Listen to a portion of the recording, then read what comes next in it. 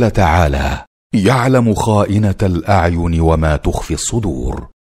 يخبر تعالى عن علمه التام المحيط بجميع الأشياء جليلها وحقيرها صغيرها وكبيرها ليحذر الناس علمه فيهم فيستحيوا من الله حق الحياء ويتقوه حق تقواه ويراقبوه مراقبة من يعلم أنه يراهم ويعلم ما تنطوي عليه خبايا الصدور من الضمائر والسرائر. فاعتقاد هذا العلم التام والقرب الدائم واستحضار تلك المعية يوجبان للعبد الخشية والخوف من الله والهيبة والتعظيم له ويبعثان على الحياء والخجل من مقارفة المعاصي والإخلاص لله في العبادة وإتمامها وهذه هي حقيقة المراقبة.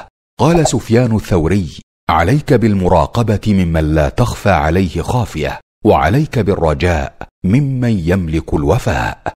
فإذا سقيت شجرة المراقبة في القلب نمت وكبرت وكان من ثمارها الطيبة تحصيل محبة الله تعالى ورضاه. دوام الاستقامة لدوام باعث المسارعة إلى الطاعات. الإعانة على ترك المعاصي والمنكرات. تحصيل الهداية والتوفيق. فالمراقبة تثمر المجاهدة والمجاهدة سبب للهداية. والذين جاهدوا فينا لنهدينهم سبلنا. إدراك حسن الخاتمة فمن عاش على شيء مات عليه. تحصيل معية الله وتأييده وقد قيل من راقب الله في خواطره عصمه في حركات جوارحه.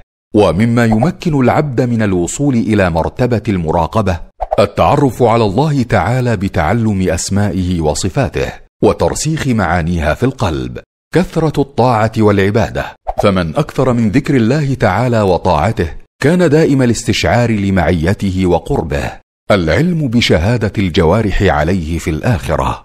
قال تعالى وقالوا لجلودهم لم شهدتم علينا؟